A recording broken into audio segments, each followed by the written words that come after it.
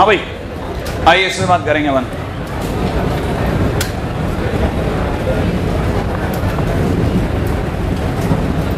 ऐसा है ना भाई? ये अपनी एक्स एक्सेस थी, ये अपना वाई एक्सेस था, ये अपना जेड एक्सेस था। अच्छा अपना जो भी आर था, आपको याद होगा। अपन ने ऐसे किया था, कुछ दो यों गए थे, तीन इस तरफ़ गए थे और चार ऊपर गए थे। ये अपना टू थ्री फोर बन गया था। फिर अपन ने कोशिश करके इस पे ठीक है ना? इस पर अपन एक क्यूब बना लिया था। याद आ गया आपको? जितना मुझे याद है कुछ ऐसा क्यूब बन गया था अपना। है ना?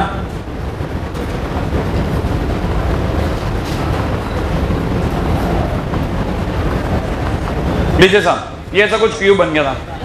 एनीवे anyway, ये जो भी क्यूब बना था इसमें अपन ने जब इसको मिलाया था तो ये आर बना था। ये अपना आर था। आर वेक्टर सही है? अच्छा ये जब अपना आर वेक्टर था तो मैंने आपको ये बताया था कि जैसे आप इसको मिलाओगे तो यहाँ 90 डिग्री फॉल होगा। सही ना भाई? अच्छा जिनको ये ध्यान है, अपन एक काम कर रहे हैं, तब तक मैं इस आर वेक्टर को थोड़ी सी देर के लिए, ठीक है, बाहर लेकर आ रहा हूँ, बस। मैं सिर्फ़ इस डायग्राम को बाहर ला रहा हूँ। देख लिया? अगर मैं इसको बाहर लेके आता हूँ तो ये 90 डिग्री है। और ये ऐसा है, ये आर है अपना। ये 90 डिग्री है। ये अलग लग नहीं रहा 90 डिग्री, लेकिन ये 90 डिग्री है। सही है तो ये 90 डिग्री को मैं बाहर ले आया हूँ। अच्छा इसमें ये आर वेक्टर है।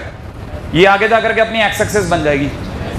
अच्छा इस पे हर यूनिट दूरी पे एक आई कैप दूर कवर होता जा रहा है। अच्छा एक बार के लिए आपको ये बता देता हूँ कि जब अपना ठीक है x axis y axis z axis होगा तो ये अपना एक्स वाई जेड एक्सेस है इस प्रकार से। ठीक है ना? ये अपना x axis y axis z axis है। ठीक है? ये कुछ हद तक ऐसा है। अच्छा इस पे ये अपना आर है। ये अपना आर वेक्टर है। ठीक है भाई? ये अपना आर वेक्टर है। एक सेकंड एक पेन दोनों ठीक है? हाँ देना देना पेन हाँ भाई, ये अपना आर वेक्टर है कुछ। ये थोड़ा सा और स्लांट मान लेते हैं। ये कुछ आर वेक्टर देख लिया? ये आर वेक्टर जो है, ये अपने एक्स एक्सेस के साथ में कुछ एंगल बना रहा है। ये अल्फ़ा बनेगा। ठीक है? ये जेड एक्सेस के साथ कुछ एंगल बना रहे हैं। ये गामा बनेगा। जेड के साथ गामा। और ये वाई एक्सेस के साथ कुछ ना कुछ एंगल बनाएगा।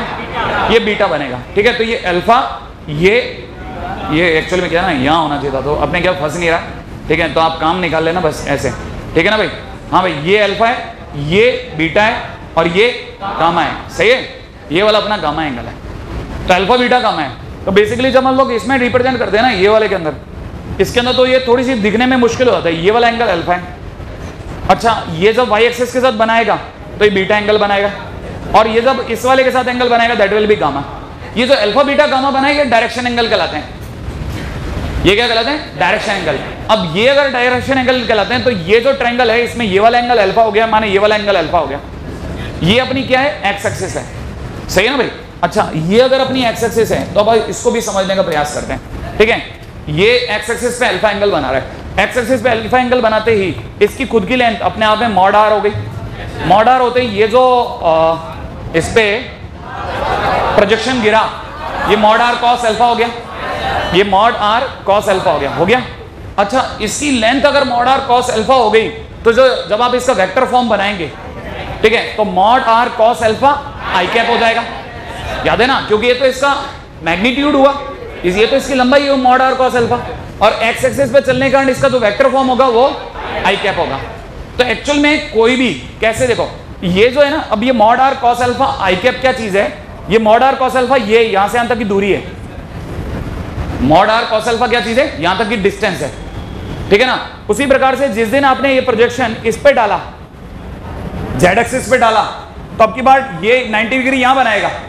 तो ये हो जाएगा mod R cos beta gamma ठीक है? और जेड एक्सिस की वजह से के क्या है? तो जब आप आर वापस लोगे तो आर वेक्टर कैसे वापस आएगा? आर वेक्टर इजिकल टू होता है mod R cos alpha I cap plus mod R cos beta J cap plus में mod R cos gamma K cap ये हुआ। आई कैप एक्स एक्सिस को दिखा रहा है। ये वाई एक्सिस को और ये जेड एक्सिस और तीनों का प्रोजेक्शन मिलकर के वापस आर दे रहा है। तीनों का प्रोजेक्शन मिलकर के मुझे आर वेक्टर दे रहा है। ये बात तो पकड़ में आती है। अच्छा अब जिन्हें ये बात समझ में आती है, ये धीरे धीरे और पक्की होती है कि धीरे धीरे? आप में से किसी को अगर ये कंफ्यूजन है I cap J cap K cap अच्छे नहीं लग रहे सर सब समझ में आएगा। जिनको ये समझ में आया, उन्हें पता है इस पूरी कहानी में से अभी कुछ कॉमन आ रहा है। मॉड आर मॉड आर अगर कॉमन आ रहा है तो उधर डिवाइड लगा दूँ तो ये अपने आप में आर वेक्टर अपन मॉड आर वेक्टर हो गया। इसका मतलब क्या बन गया?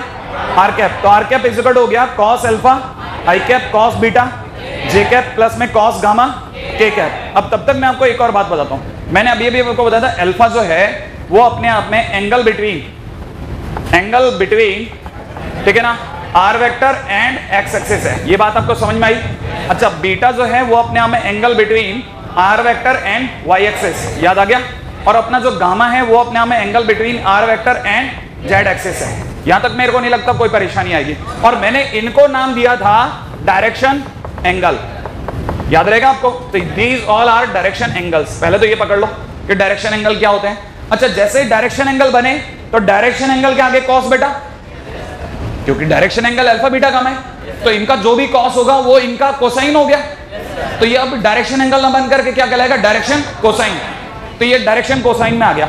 इसका मतलब you are taking R vector in terms of direction cosine now अच्छा ये जो डायरेक्शन कोसाइन है इसमें हम लोग कॉस अल्फ़ा को जानबूझ करके एल बोलते हैं। पार्टिकुलरली सारी दुनिया में एल के नाम से पुकारा जाता है। याद रखना तो cos alpha is to L cos beta is to M और ये cos gamma is to N तो ये basically R cap is to बना एल आई कैप प्लस में एम जे कैप प्लस में एन के कैप और ये जो cos alpha, cos beta, cos gamma है the they all are known as direction cosines होते हैं डायरेक्शन कोसाइन सही है? अच्छा एक बात बताइए।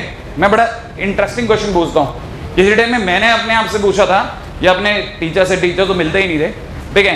तो अपने दोस्तों से पूछा, यार डायरेक्शन कोसाइन क्यों होते हैं? डायरेक्शन टेंजेंट क्यों नहीं होते? ठीक है ना? हाँ भाई, कोई लॉजिक डायरेक्शन टेंजेंट क्यों नहीं होते? इसका प्रोजेक्शन देता ही कॉस है। टेंजेंट के अपने घर से लगा लूँगा? नहीं है। तो डायरेक्शन जब बनता ही कॉस में है तो डायरेक्शन कॉस में आएगा तो कोसाइन ही बोलेगा बेचारा। इसलिए डायरेक्शन कोसाइन होते हैं, कोई डायरेक्शन टेंजेंट नहीं होता, कोई डायरेक्शन साइन नहीं होता। तो पहली बात तो ये डायरेक्शन एंगल ये अपने आप में बन गया डायरेक्शन कोसाइन अच्छा इनका नाम पड़ गया ये। और एक इंटरेस्टिंग बात, इसको देख करके कितने लोग ये बात समझ जाएँगे कि ये जो कुछ भी लिखा है, इससे कोई भी समझ सकता है L square plus M square plus N square equal to one कैसे? कैसे कैसे? क्या आपको पता चला? नहीं पता चला। दोनों तरफ़ मॉडुलस ले लो। मॉडुलस लेते ही, आपको पता है I cap J cap M K cap का मॉडुलस कैसा आता है? L square plus M square plus N square और mod R cap R cap माने यूनिट वेक्टर यूनिट वेक्टर का कैप यूनिट वेक्टर का मॉड वन इसीलिए वन होगा। और ये अपने आप अद्भुत आइडेंटिटी है साहब, गजब। मतलब आपको पता नहीं थ्री का बेस और कम से कम अगले सौ क्वेश्चन की जान। ये है सबसे शानदार चीज़। डायरेक्शन कोसाइन का ये अपने आप में रिलेशन है। कि L square plus M square plus N square is to one होता है रिमेंबर वन थिंग इससे दो बातें कुछ लोग समझते हैं। एक इनडायरेक्ट वे में समझ गए कि कॉस स्क्वायर अल्फ़ा प्लस में cos square beta plus cos square gamma is equal one होता है। सोचने में आ गया होगा उम्मीद आपको। अच्छा कई लोग यहाँ से ये भी समझ जाते हैं कि मैं ये कहना चाहता हूँ कि साइन स्क्वायर अल्फ़ा प्लस में साइन स्क्वायर बीटा प्लस में sine square gamma is equal to two आइला, कैसे? हर कॉस स्क्वायर अल्फ़ा को लिखा। One minus sine square, one minus sine square, one minus sine square. तो three minus sine square minus वाले सारे इधर भेज दो और वन को उधर बुला दो नहीं आया? हाँ ये सब रिलेशन है। ये सब जेई मीन्स का क्वेश्चन है। आपको अल्फ़ा बीटा देगा गामा पूछेगा। अगले चैप्टर की शुरुआत में अल्फ़ा बीटा देगा गामा पूछेगा। ठीक है, कम से कम शुरू के जो बेसिक क्वेश्चन है, उनकी पहले क्वेश्चन की सौ, पहले सौ क्वेश्चन में सबसे इंपॉर्टेंट फार्मूलेज में से एक है। अच्छा जिनको ये बात समझ में आ गई, और आ गया तो वापिस आ रहा हूँ। ठीक है? अच्छा अब आप एक और बात सुनिएगा।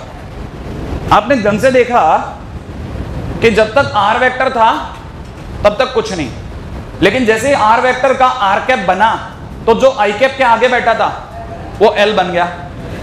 एल बना? अच्छा कई लोग यहाँ पे भी एक और बात समझे। बहुत अच्छी अच्छी बातें सुनते जाओ। चुपचाप, बड़े ध्यान से। आर वेक्टर अपने आप में किस किस के मिलने से बना? Mod R cos alpha I cap mod R cos beta J cap mod R cos alpha K cap इनसे मिलके बना आर वेक्टर, बना। अच्छा जिसमें आपको यह पता होना चाहिए कि मॉडर कॉस एल्फा कौन है?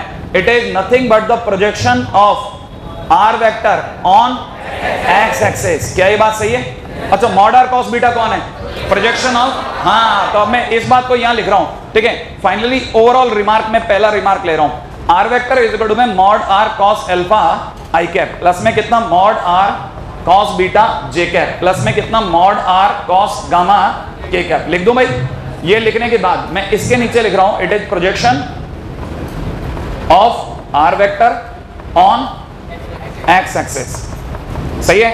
ये अपने हमें projection of R vector on Y axis सही है? It is projection of R vector on Z axis इसका मतलब कई बच्चे अब इसे ऐसे समझे हैं कि लिखने में ज़रूर एकदम अजीब सी बात है। ऐसा लगता है जैसे मैं कुछ थियोटिकल लिखाने की कोशिश कर रहा हूँ। लेकिन समझने वाले इसे ऐसे भी समझते हैं कि अच्छा सर, अगर आर वेक्टर बराबर में कल को किसी ने मुझे three I cap minus four J cap plus K cap दे दिया और किसी ने पूछा कि बताइए इस आर वेक्टर का एक्स एक्सिस प्रोजेक्शन कितना है? तो मेरा आंसर होगा तीन। किसी ने पूछा वाई एक्सिस से प्रोजेक्शन कितना है? तो answer is minus four minus four बताता है कि आपने प्रोजेक्शन हाँ अब अगर वाई एक्सिस आप आगे मान रहे हैं तो ये पीछे की तरफ़ प्रोजेक्शन है। नहीं आया? और अगर भाई तो के है तो प्रोजेक्शन अपसाइड वन अरे, एक है प्रोजेक्शन एक है। ये बात समझ में आई? हाँ भाई, अब आप में से कई लोगों को जिनको ये बात समझ में आ गई कि प्रोजेक्शन का मतलब अच्छा ये जो आई ये आईजे के आगे लिखे होते हैं, ये प्रोजेक्शंस लिखे होते हैं। अब तक अपन बहुत बार सुनता है। ठीक है? अच्छा वापस पूछो आपसे एक सिंपल सी बात। कोई बताइए, इस वेक्टर के अंदर प्रोजेक्शन माने मैंने क्या बताया था? क्या होता है? परछाई। ऊपर से डालेंगे। जब अपन ऊपर से डालेंगे तो एक्स एक्सिस से परछाई गिरेगी। सामने से डालेंगे तो पीछे वाले पर्दे पे परछाई गिरेगी। और इधर से डालेंगे तो इधर वाले पर्दे पे परछाई गिरेगी। ठीक है ना? और हर किसी के लिए जैसे ऊपर से डाली तो आर कॉस अल्फ़ा सामने से डाली तो आर कॉस बीटा, इधर से डाली तो आर कॉस गामा। और तीनों मिलकर के वापस अपने को आर वेक्टर देते हैं। ठीक है? नहीं थोड़ा इमेजिनेशन पॉइंट ऑफ़ व्यू से थोड़ा क्रैकिंग है, लेकिन धीरे धीरे आ जाएगा। अच्छा सेकंड पॉइंट सुनना, बड़ा इंटरेस्टिंग कोई अगर इसको देख रहा है तो इसको देख करके मुझे इसका आर कैप बताए। आर कैप कैसे बनाते हैं? R vector upon mod R से। सही है भाई, ऐसा परेशान मत हो, मैं आपको पूछूँगा ज़रूर। आपको एक बार पीछे लेके जाऊँगा। फिर मैं खुद ही ले आऊँगा, चिंता मत कर भाई। अब आर वेक्टर अपने आप में लिखा है थ्री आई कैप माइनस का फोर जे कैप प्लस में कितना? के कैप सोच लिया? अच्छा इसका मॉड आर बोल दो आपको। अंड्रोड नौ प्लस सोलह प्लस एक। तो कितना हो गया अंड्रोड ट्वेंटी सिक्स तो भी लिख देता हूँ, फिर भी नौ प्लस सोलह प्लस एक। ठीक है ना भाई? जिसमें आप में से कई लोगों ने बोला one upon under root twenty six सोच लिया? इंटू में three I cap plus minus का कितना? फोर जे कैप प्लस में के कैप इतनी दूर तक समझ में आ रहा है आपको? अब मैं जैसे ही इसको लिखा, लिखते ही मैं तुरंत समझ गया कि इस आर वेक्टर के लिखते ही मुझे पता चल गया एल एल बराबर हो गया three upon under root twenty six सोचो आराम से। नहीं आया? अच्छा जिनको ये बात समझ में आ गई, वो एम पे आ जाओ। एम बराबर हो गया minus four upon under root twenty six पक्की बात है?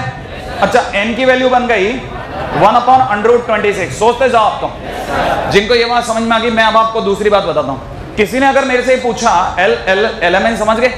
माने ये कि इसके डायरेक्शन को। साइन मैं इसके डायरेक्शन को साइन लिख गया, नहीं आया। जिनको डायरेक्शन को साइन पकड़ में आ गया, वो दूसरी तरफ़ चलो। रेडी अब अगली बात सुनना। किसी ने मेरे से पूछा कि बताइए, सर, ये वेक्टर एक्स एक्सिस से कितना एंगल बनाता है? तो मैं उसे बताऊँगा कि जिसे तू एल लिख रहा था, वो बेसिकली कॉस अल्फ़ा था। और एक्स एक्सिस से बनने वाला अल्फ़ा एंगल अल्फ़ा तो alpha is equal to cos inverse 3 upon under root 26 माने ये it is angle made by R vector from X axis तो आप बता सकते हैं angle made by R vector from Y axis angle made by R vector from Z axis अब मेरे को लगता है कि आप वेक्टर के अंदर काफ़ी दूर तक एक एक एक एक बात समझने की कोशिश कर रहे हो। अच्छा अपने से किसी को बताइए थ्री माइनस फोर के कैसे आया होगा? आया कैसे होगा? कोई तीन यो चला होगा? चार पीछे चला होगा, एक ऊपर गया होगा, तब जाके आया होगा। अच्छा कोई बता सकता है कि स्पेस में इसके कोऑर्डिनेट रहे होंगे? Three minus four and one three minus four and one आया? तो आप में से किसी को अगर पता है कोऑर्डिनेट बोलते ही थ्री बोल रहा हूँ मैं। और जैसे ही उसे वेक्टर में बदलता हूँ तो वेक्टर में आ गया। इसका मतलब three D and vector attach to each other ठीक है ना? Three D and vector comprehensively attach to each other बुरी तरह से एक दूसरे के अंदर है। आपको बस देखना आना चाहिए। ठीक है ना? तो ये मैं यहाँ लिख देता हूँ। आप सब, आप तो कॉपी करना चालू कर देना। एंगल मेड बाय ठीक है? R vector from X axis ठीक है? Angle made by R vector from X axis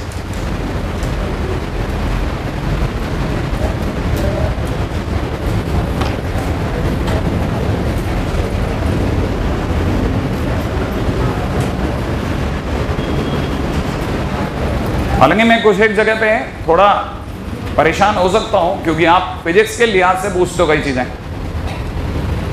ठीक है, जैसे आप आ जाते हो, वही M G cos alpha M G cos theta है और उस पर आ जाते हो आप तो कि इधर का इसका, वो क्या बोलते हैं? है ना? कंपोनेंट है ना? हाँ लो ना।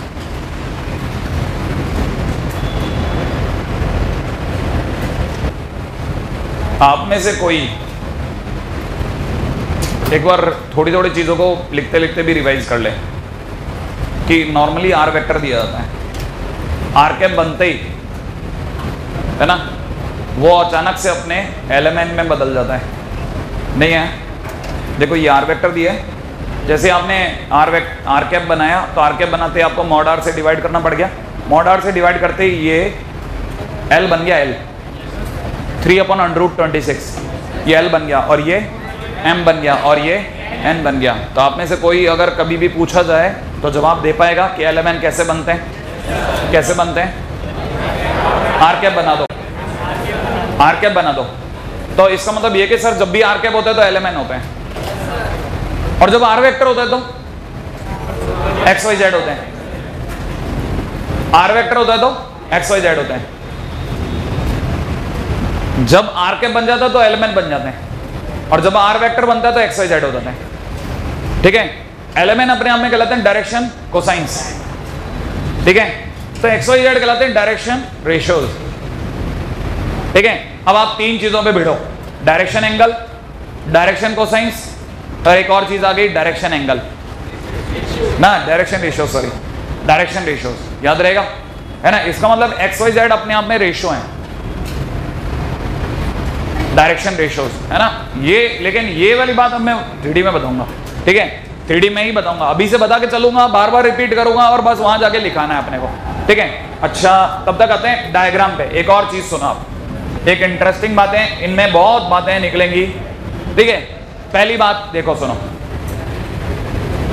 कि सर, आपने जब सर उसका डायग्राम बनाया था तो आपने जानबूझ के एक ही वेक्टर एक ही पॉइंट लिया और उस पर आपने क्यूबर्ड बना दिया। लेकिन नॉर्मली तो ऐसा नहीं होता ना। नॉर्मली तो ऐसा नहीं होता तो पास वाले दोस्त के दिमाग में आ सकता नॉर्मली फिर होता कैसे? ठीक है नॉर्मली तो ऐसा होता है ना वेक्टर तो ऐसे होता है भाई। नॉर्मली वेक्टर ऐसा होता है, बाद में क्या करते हैं, हम तो इसके दोनों सिरों को जोड़ते हैं और अटैच करके उसके पोजीशन वेक्टर बनाते हैं। तो नॉर्मली तो वेक्टर अपने आप में कोई एक लाइन सेगमेंट होता है ना सर और अगर लाइन सेगमेंट होगा, तब आप कैसे सोचोगे ये सब? तब भी सोच पाएँगे मतलब? तब क्या डायरेक्शन कोसाइंस वगैरह पॉसिबल है? मैंने कहा, हर चीज़ हर जगह पॉसिबल है। वेक्टर में हर चीज़ अटैच है। कुछ भी ऐसे ही, बस ऐसे ही उठा के नहीं फ्लूक नहीं है मतलब। ये ए वैक ये ए है, ये बी है। अब अपना, देखो एरो किसकी तरफ़ है? ए से बी की ओर। ए से बी की ओर है तो इसको बोलेंगे ए बी वैक्टर अगर ये ए बी वैक्टर है तो it is known as B vector minus A vector सही है? लेट से कि अपना जो ए वैक्टर है है ना? उसके कोऑर्डिनेट अपने को दे रखे हैं X one Y one Z one सही है? बी वेक्टर के कोऑर्डिनेट अपने को दे रखे हैं X two Y two Z two सोच लो आप तो। सोच लिया X two Y two Z two तो अपने लिए बी माइनस ए बोलते ही ऑटोमेटिकली दुनिया में आ गया X two minus X one I cap plus Y two minus Y one J cap plus में कितना? Z two minus Z one K cap आराम से सोचिए, ये बात सही है? जब तक I cap normal A A B vector है, जब तक ये नॉर्मल ए बी वैक्टर है, ये डायरेक्शन रेशो ये डायरेक्शन रेशो ये डायरेक्शन रेशो है। नहीं आया समझ में? अब जैसे ही मैं इसे, इसका ए बी कैप बनाऊँगा, क्या बनाऊँगा? A B cap A B cap के लिए मॉड का डिवाइड लगाऊँगा। मॉड का डिवाइड लगाते ही मैं इसको लिखूँगा A B vector divide by mod A B mod A B लिख दूँगा। तो देखिए साहब, दिखने में थोड़ा भयानक लगेगा, लेकिन होगा नहीं। ठीक है? क्या लिखना है? एज इट इज़ इसी को दोबारा लिख रहा हूँ। ऊपर ए बी वैक्टर को लिखने का मतलब है X two minus X one I cap plus में कितना? Y two minus Y one J cap plus में कितना? Z three minus Z two minus Z one into K cap बराबर? अपॉन में mod A B mod A B is equal to हो जाएगा under root mod सुनते under root फिर पहले का स्क्वायर प्लस दूसरे का स्क्वायर प्लस तीसरे का स्क्वायर सोच लिया आपने? तो ये हो जाएगा x2 टू माइनस एक्स का square y2 two minus Y का स्क्वायर और z2 टू माइनस जेड का स्क्वायर जो कि पिछला वाले जैसे ही है, बिल्कुल। अब ये जैसे ही अंडरूट अपना वैल्यू देगा, हर किसी में डिवाइड लगेगा। और जैसे ही पहले में डिवाइड लगेगा इट बिकम्स l, दूसरे में डिवाइड लगते हुआ m और ये वाला m माने वापस वही खेला डालोगे लेकिन इस पूरी कहानी में, जिस कहानी ने सबसे ज़्यादा अट्रैक्ट किया वो था मॉड एबी सही है? मॉड एबी का मतलब ए और बी के बीच का डिस्टेंस सोच लिया? And it is known as mod A B vector सोच लो आप तो. जैसे मैंने मॉड ए बी वैक्टर लिखा तो mod A B vector is equal to में, मैंने लिखा था X two minus X one का होल स्क्वायर प्लस में कितना? Y two minus Y one का होल स्क्वायर प्लस में Z two minus Z one का होल स्क्वायर ये बात सही है? लेकिन आप में से कही होगी नज़र पड़ी? सर, ये डिस्टेंस फार्मूला है. हाँ के ना? अच्छा ये डिस्टेंस फार्मूला इन थ्री है। अभी थ्री में डिस्टेंस फार्मूला बन गया। लेकिन आपकी नज़र में डिस्टेंस फार्मूला इन थ्री है। मेरी नज़र में distance formula in three is attached with बड़े ध्यान से सुनना। आप में से कईयों को अभी भी ध्यान होगा कि जो आई के आगे लिखा था, वो था मॉड आर कॉस एल्फा और mod r cos alpha is to projection of r vector on x axis तो इसका मतलब ये कि जो डिस्टेंस फार्मूला थ्री में होता है, उसमें x two minus x one is projection ठीक है projection of a b vector on x axis है। क्या ये बात समझ में आया का होल स्क्वायर अगले में लिख देता हूँ प्रोजेक्शन ऑन वाई एक्सिस का स्क्वायर सोचा? और प्लस में कितना? प्रोजेक्शन ऑन जेड एक्सिस का स्क्वायर सोचो। इसका मतलब ये कि क्वेश्चन देने वाला ऐसा क्वेश्चन भी दे सकता है कि let's say vector have a projection on x axis is equal to 19 on y axis is equal to 20 and on z axis is equal to 21 find the length of the vector नहीं आया। Find the length of the vector तीनों का projection दे दिए। तो आपको length of vector निकालने के लिए कुछ नहीं करना। 19 का स्क्वायर प्लस 20 का स्क्वायर प्लस 21 का स्क्वायर का अंडर रूट निकाल देना। आपकी वैल्यू आ जाएगी। नहीं आया समझ में। कहानी पकड़ में आ गई आपको? हाँ तो याद रखना, ये x two minus x is nothing but the projection ठीक है ना? इसको ज़रूर संभाल के रखिएगा। ये काम आएगा।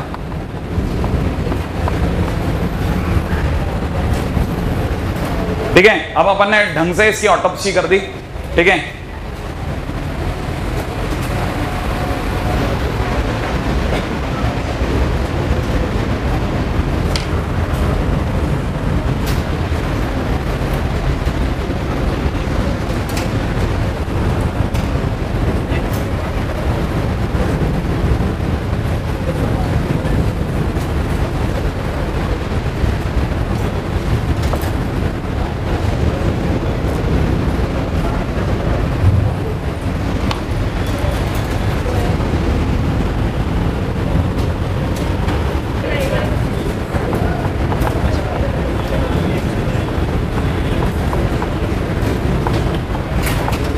अगला टाइटल डालिएगा कोलिनियर वेक्टर्स अंडरवुड में projection of a b on x axis का square projection of y axis का square projection of z axis का स्क्वायर आते हैं अगले टाइटल की ओर. Collinear vector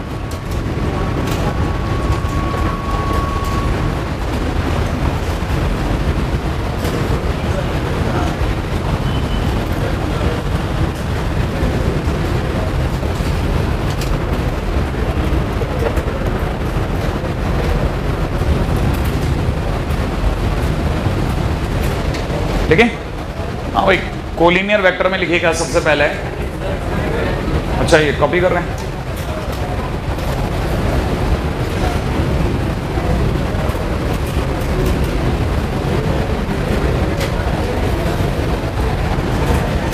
Two vectors are set to be two vectors are set to be collinear if their line segment two vectors are said to be collinear if their line segment is parallel irrespective of their direction. Two vectors are said to be collinear if their line segment if their line segment is parallel irrespective of their direction. Irrespective of their direction ठीक है भाई? Irrespective of their direction obvious ही बात है। ठीक है?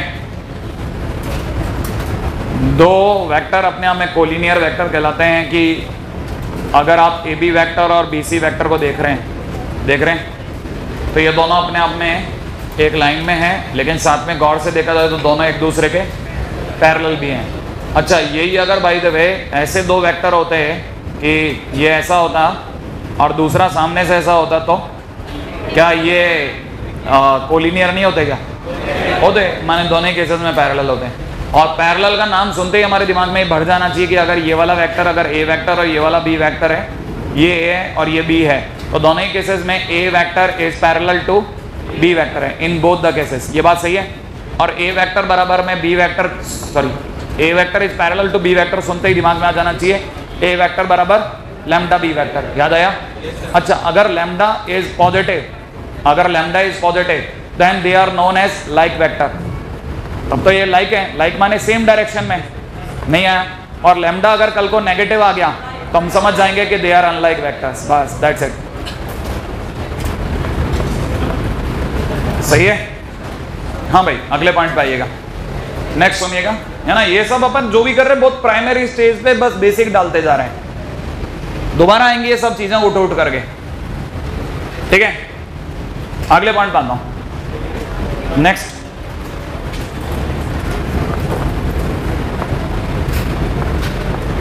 coplanar vectors coplanar vectors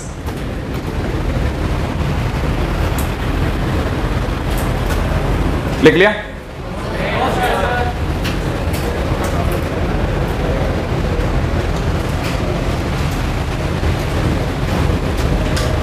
लिखिएगा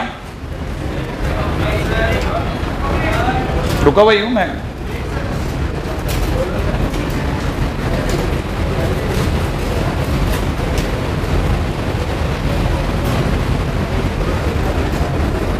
हाँ भाई a one vector a two vector a three vector data dash a n vector ठीक है ना भाई? A one vector a two vector data dash a n vector are coplanar vectors are coplanar vectors are coplanar vectors if they all are parallel to same vector sorry if they are all if they are parallel to coplanar vectors if they are parallel to same plane if they are parallel to same plane if they are parallel to same plane ठीक है भाई हाँ भाई हालाँकि ये सब bookish language लिखा रहा था कि मैं अपने सर पे कुछ भी नहीं लेना चाहता ठीक है, बाकी समझाने, समझने में तो हर बच्चे को इतना डिटेल में सब पता होता है, उसको खुद को आइडिया होता है, एक प्लेन में मिलने वाले सभी वेक्टर को प्लेनर वेक्टर है। इसका मतलब ये कि जैसे ये प्लेन है प्लेन तो जैसे ये बोर्ड एक प्लेन है।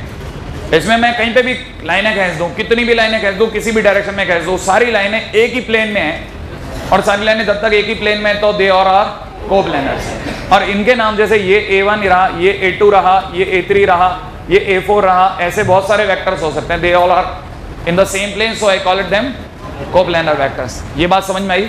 बस ऐसा एक डायग्राम बना देना। A one a two a three a four ऐसा वगैरह वगैरह। अच्छा ये सब सेम प्लेन में तो एक कर काम की बात बताता हूँ। हर प्लेन का, हर प्लेन का एक नॉर्मल वेक्टर होता है। हर प्लेन का एक नॉर्मल वेक्टर होता है। अभी से इस बेस को डाल लो हर प्लेन का एक नॉर्मल वेक्टर होता है। जो इस प्लेन में पाए जाने वाले हर वेक्टर के परपेंडिकुलर होता है। जैसे अगर बाई द मैं इस हथेली पे कितने भी तरीके से पेन सजा लूँ, कैसे भी पेन सजा लूँ राइट है ना भाई? मैं जैसे भी, कैसे भी करके पेन रखूँगा, हर पेन के ये वाला जो चौक होगा, ठीक है परपेंडिकुलर निकलेगा। ऑब्वियस ही बात है, जैसे आप इसके सामने बैठाओगे तो यहाँ परपेंडिकुलर निकलेगा, यहाँ पे ले जाओ तो यहाँ परपेंडिकुलर निकलेगा।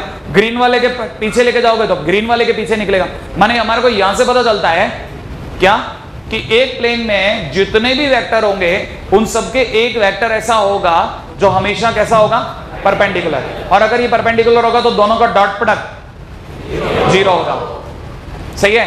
और ये जो एक वेक्टर ऐसा जो पूरे प्लेन में प्लेन के परपेंडिकुलरली अपसाइड है या डाउन साइड है वट ये जो इसके हमेशा परपेंडिकुलर है it is known as normal vector we call it n vector हम इसको एन वेक्टर के नाम से पुकारते हैं। ध्यान रखना भाई। ठीक है ना? तो हर प्लेन के परपेंडिकुलर एक वेक्टर होगा। सही है? जिसको हम लोग किसके नाम से पुकारेंगे एन वेक्टर ठीक है? तो एक डायग्राम बना लेना एन वेक्टर और n vector is equal to में लिख लीजिएगा normal vector to plane normal vector to plane सही है? हाँ भाई। अब इसके बाद में आगे लिखेगा diagrammatically a vector a one vector comma ये मैं यहाँ लिख रहा हूँ। A two vector comma a three vector dead dash a n vector all are perpendicular to n vector ये जितने भी हैं, सबके सब एन वैक्टर के परपेंडिकुलर होंगे। Implies a one vector dot n vector equal to में a two vector dot n vector equal to में a three vector dot n vector dot dash equal equal equal equal to में a n vector dot n vector equal to zero ये सब zero होंगे। सही है? और ये सब के सब क्या होंगे? इक्वल टू ज़ीरो क्यों? क्योंकि सबका डॉट प्रोडक्ट क्या है? ज़ीरो है। सही है? हाँ ये अभी से ही आप बांधते चलो, ये छोटी छोटी हरकतें हैं। ये सब काम आने वाला है। और यही सबसे ज़्यादा काम आने वाला है। आईआईटी तो 100 परसेंट थ्री के अंदर तीन क्वेश्चन वेक्टर में तीन क्वेश्चन दे के ही रहता है, इससे ज़्यादा ही देता है। माने छह क्वेश्चन हर साल के लगभग पक्के होते आ रहे हैं और जैसे जैसे ये ईयर वाइज आगे बढ़ते आ रहे हैं, ये कुछ एक चीज़ों को कम करते आ रहे हैं और कुछ एक चीज़ों को आगे बढ़ाते जा रहे हैं। जैसे कैलकुलस के अंदर फंक्शनल इक्वेशन पे बहुत लोड दे रहे हैं। अब ये फ़ंक्शन नहीं देते, ये फंक्शनल इक्वेशन देते हैं, ताकि आधे से ज़्यादा बच्चे तो बाहर हो जाए। क्योंकि हमारे को पता है कि फंक्शनल इक्वेशन में सोचना ही बहुत मुश्किल है। और आसान भी है, अगर वाई देवे कोई कमज़ोरी छोड़ दे तो। ठीक है तो बहुत जल्दी सो जाते हैं। जैसे बच्चे समझ जाते हैं, देखते ही कि अगर बाई देवे कोई फ़ंक्शन है जिसका एफ़ ज़ीरो वन है और जिसका f dash x f dash zero zero है, ठीक है ना? एफ़ ज़ीरो वन है और एफ़ डेस ज़ीरो ज़ीरो है तो तुरंत समझ जाता है बच्चा कि वो ज़रूर कॉस एक्स होगा, क्योंकि कॉस ज़ीरो वन है और उसका डिफ्रेंशिएशन तो बच्चा सोच करके आंसर बना लेता है और आंसर आंसर हिट हो जाते हैं। ये मतलब हैबिट है। तो उसी तरह से वेक्टर भी एक आजकल बहुत प्रमोशनल चैप्टर है। यानी आगे बढ़े। ये लिख लिया आपने? ठीक है? हाँ भाई, अब इसके अंदर जब आपने ये लिख लिया, इसके बाद में पॉइंट नंबर टू पे आइएगा। इसको पॉइंट नंबर वन दीजिएगा पॉइंट नंबर टू लिखेगा। लिखो? हाँ भाई, एक चीज़ मैं आपके फिजिक्स से उधार ले रहा हूँ। ठीक है? मैं लिख रहा हूँ यहाँ पे डायरेक्ट ठीक है भाई? N vector is equal to में plus minus a one vector cross a two vector upon में mod a one vector cross a two vector सोचो कहीं सुना होगा आपने। N vector is equal to plus minus a one vector cross a two vector upon mod a one vector cross a two vector ये आप लोगों ने सुना है कहीं? नहीं सुना? मरा दिया यार। ये ऐसी ऐसी बातें भी अगर बाई देवे नहीं सुनी है, कोई बात नहीं है, ठीक है? लेकिन बस बताते ज़रूर जाना, ये नहीं सुना है हाँ। हम मैं इस भरोसे में रह जाऊँ कि ये तो सब फिजिक्स में सुना हुआ है। अरे, ऐसा नहीं हो, आपने सुना है, बस ये और बात है कि आप क्लिक नहीं कर रहे हो। देखो, मैं आपको याद दिलाता हूँ। जैसे कोई भी दो वैक्टर हैं, ये ए वन वैक्टर है, ये टू वैक्टर है। दो वैक्टर हमेशा एक प्लेन में होते हैं। सही है? इनके बीच का ये एंगल थीटा है। तो देखिए साहब एक्चुअल में कोई भी दो वेक्टर जैसे ही आते हैं तो आपको पता है ना, हम जब थीटा निकालते हैं तो हम लोग हमेशा एंटी क्लॉकवाइज निकालते हैं। ऐसा।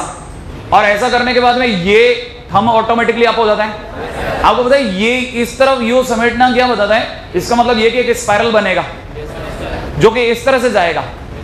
ये जो हाथों की उंगलियाँ है ना, ये बेसिकली स्पाइरल की स्पाइरल को दिखाती है कि आप हमेशा A1 से A2 की तरफ़ मूव करोगे तो अपसाइड होगा। अगर आप A2 से A1 की तरफ़ मूव करोगे तो डाउन साइड होगा। अच्छा ये जो अपसाइड होगा that will be a perpendicular vector और जो परपेंडिकुलर वेक्टर होगा, वो ऐसे होगा।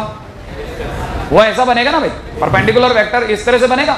अब ये परपेंडिकुलर वेक्टर है तो दिस इज़ एन वेक्टर ये अपने आप एन वेक्टर है. अब देखो, क्योंकि ये परपेंडिकुलर है किसके?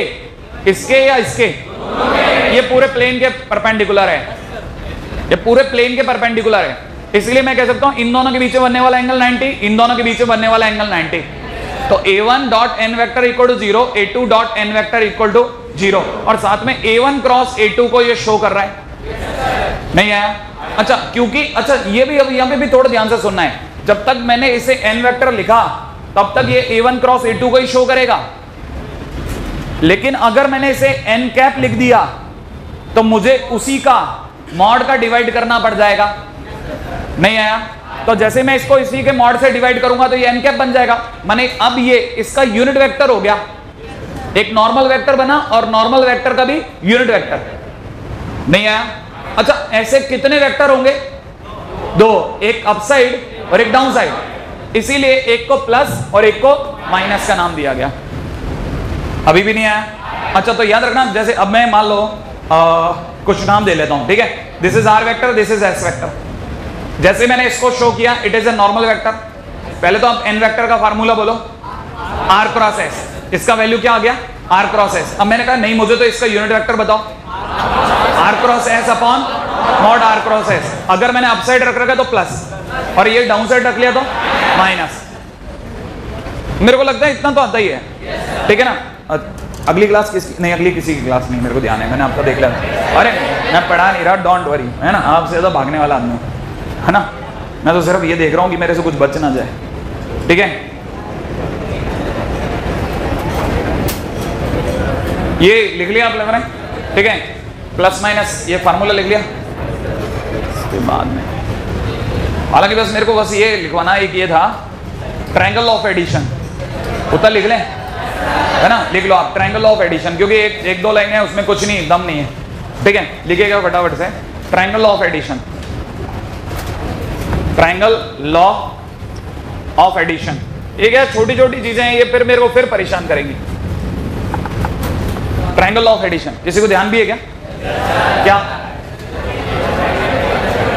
If two side of the triangle representing two vectors following each other then the third side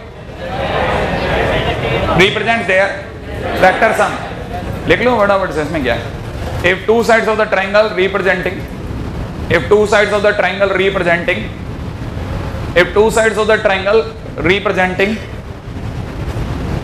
if two side of the triangle representing two vectors following each other if two sides of the triangle representing two vectors following each other then third side